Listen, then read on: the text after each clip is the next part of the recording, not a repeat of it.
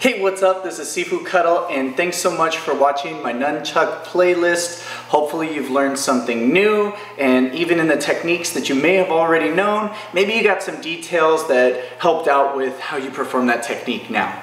So I also wanted to take some time, I've used a lot of different nunchucks in my videos, and even some that you haven't seen yet, so I wanted to take some time and actually show you guys some of the chucks that I have. Now, uh, we'll start with actually these guys. First, the big boys. I call these the Michelangelos because they're nunchucks like Michelangelo the Ninja Turtle, but uh, also because I put an orange string in here. So um, these ones are pretty old. We found these in the studio here and this means that it could have been from anywhere you know, from, I found them when I first moved in uh, to San Francisco and I started working at this school at, in 2008. So at least 10 years, and I'm putting my guess in to probably even a lot longer than that. So probably like 20, 30 years old.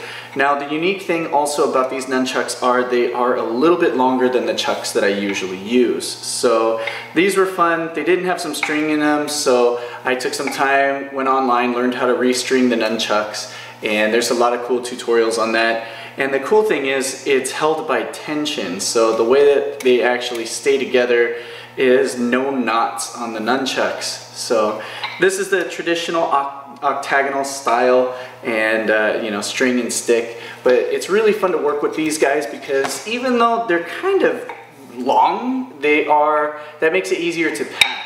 Because once you, once you get there, you don't have to like really go flexible on these ones and they're also fun to hit things with. So I really enjoy these Michelangelos. Uh, next up I have these black ones. Now the difference between these and the Michelangelos obviously are string and chain. And this is a very basic and common style that you'll find. Uh, these ones are black lacquered, painted, but the chain in between is good distance right over the top of the palm of my hand. So this is really nice to work with for me. Another thing is the swivels on there are really nice. It's got a ball bearing swivel, so these things will spin freely, making it a lot easier, especially during the spinning techniques. Sometimes, like when you see the three section staff that I use or the two section staff that I use, the shackle and chain style, sometimes that'll bind up, but that rarely happens with the ball bearing style. Now, um, with that, I have the blue pair that you see a lot of in the videos, and this is a newer set. The black pair is actually something that we've had in the studio for a long time too. So these ones could be pretty old. There's a lot of rust on the top, but they still swivel very, very nicely.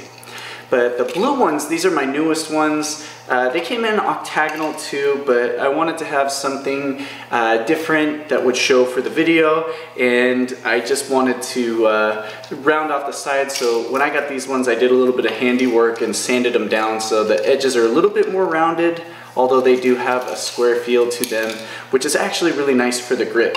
And then since I took down a lot of the finish work that was on the wood, I decided to use some stain and I've got this blue stain that I've been really in love with lately so I used my blue stain on this and it's neat because some of the wood grain still shows through and so you get some cool purples and browns and yellows that come out with this. But this again has the swivel, the ball bearing swivel on the nunchuck, and the chain is about the same length as the black ones, just over the palm of my hand, which is really nice for when we do the grip changes.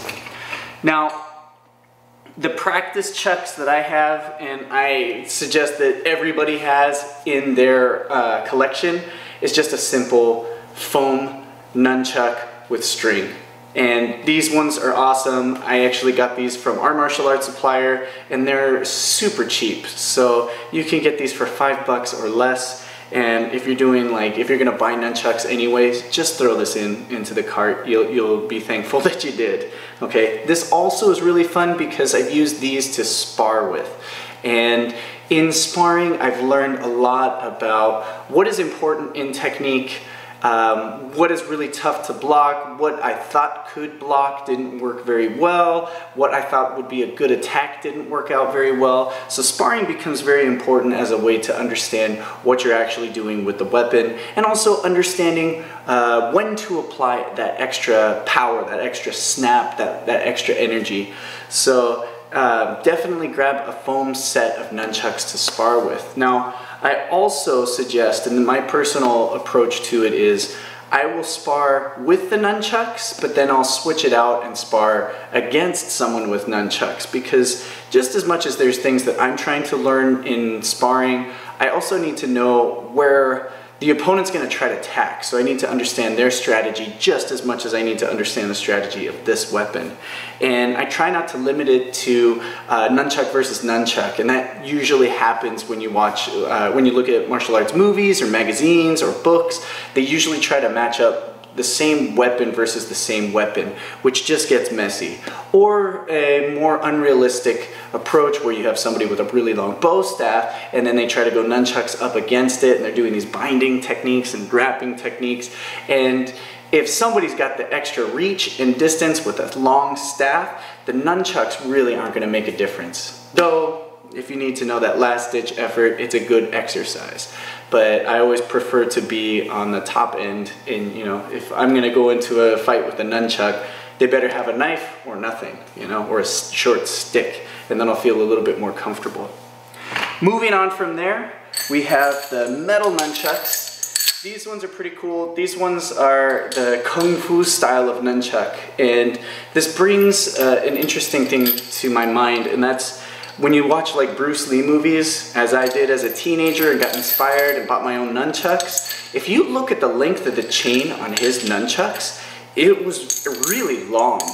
And that's something that, you know, I've kind of uh, played around with. I had some foam nunchucks with a really long string on them before, and it really makes a difference in how you swing it and in your different techniques. Now with that said, this chain is actually a lot longer than my palm, so you can see it's hanging down a lot more, whereas the other ones I was almost nunchuck to nunchuck.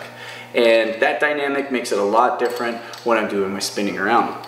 Another thing is um, this style of swivel, it does have a swivel, but it does not feel like a ball bearing. So the chain is bigger, the type of connection on the top is different, but uh, this, this style of nunchuck, you will see a lot more in the wushu circles, where other styles of nunchucks you'll see kind of across all martial arts, but predominantly like in Japanese martial arts, Korean martial arts. But uh, the longer the longer chain, the different type of swivel on the top, and that metallic look is becoming very, very popular with the Chinese martial arts now. Okay, so the last pair of nunchucks I have are pretty special to me and that's these guys, these little guys. Now, I know when you look at it right away, oh man, those are, you know, silly, tiny ones, but they're actually extendable nunchucks. So I really love these ones. These were special to me because uh, they were a gift for my 16th birthday. So I've had them for quite a few years.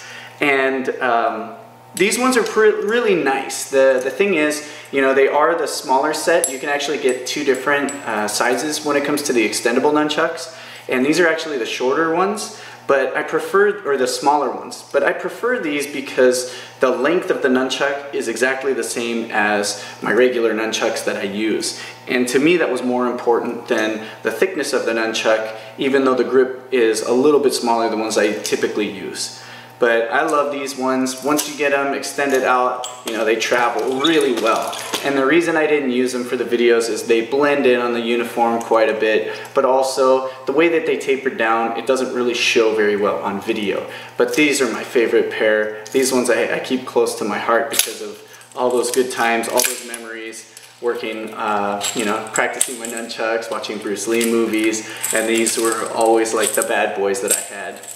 When I was younger, I had a ton of nunchucks. I had uh, a pair of rattan nunchucks, which I also suggest, if you're really getting serious about chucking, I suggest using those as well as like those actually replaced my foam nunchucks for a while because they were really lightweight and easy to control so even though when you get hit it hurts it's not as bad as the heavier nunchucks that you can get with the hardwood I also had a pair of nunchucks uh, similar to these ones, except for on the bottom, they were studded, which just looked super tough, but were just dumb because unless all you're gonna do is just kind of swing at somebody with these, with the studded nunchucks, they're really painful. Anytime you catch in the return position, it's the, the studs are digging into your ribs and the underside of your arm. Anytime you do a pass, if you hit your palm just slightly off, those studs are digging in there. So they were more for show than for actual use. I also had a pair of uh, tactical police chucks that were similar to like the police uh, tonfa or baton style that you see with the grooves in it and it was really nothing more than just this style, maybe a little bit lighter. And then I had a pair of speed chucks which um, they were very light and I broke them very fast. But yeah, I, you know, here's my current nunchuck collection and uh, they're a lot of fun. I love the weapon and I love exploring all the different possibilities that I can do with that weapon. So not only will I sit there and just spin them around for the novelty of doing that, but like I said, you know, I like to spar with them, but also I like to take them out and hit things with them. And as long as you're gonna do it in a safe environment and things that you can hit, that you can strike, and you're not gonna break, go for it. Whether it be a stand-up punching bag, I've seen people do it on a wooden dummy. I don't like that idea just because um, I've built wooden dummies and it just, it kind of hurts when you see that. but if you have one and it's all yours, go for it. I'm not gonna judge. And then um, I've even done it against, because I grew up in the mountains, I used to use nunchucks to strike off uh, the dead branches off of dead trees. And that was fun because you're working on accuracy, but you also have a tangible uh, way of knowing how hard you're striking. And it gives you a better respect for the weapon. So Hope you guys enjoyed this video. I hope you guys enjoyed the playlist. I'm gonna be adding to it from time to time, so definitely check in on it. But again, if you have any questions, drop a comment down below. I'll answer it as best as possible. You guys can find me on other forums too. I'm on Facebook, Instagram, Twitter, Tumblr, and of course Patreon. Uh, you hear me talk about that all the time. Uh, if you want to drop by and check that out, that would be super cool. So, if you haven't already, hit that like button and be sure to subscribe. Till next time, this is Sifu Kuttel. Bam! Fist with a faux